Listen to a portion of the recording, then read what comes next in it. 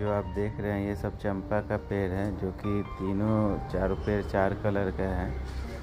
इसमें एक तो ये खिला हुआ है और एक ये बस। मैंने छोटे से पॉट में जो स्प्रे बोतल होता है, उसमें लगा दिए थे। और देख सकते हैं, उसमें भी इसने अपना जड़ निकाल के ग्रोथ इसका। और ये देखिए तीन तीन डाल इसमें निकल के इसका कितना चाहिए ग्रोथ हो रहा है।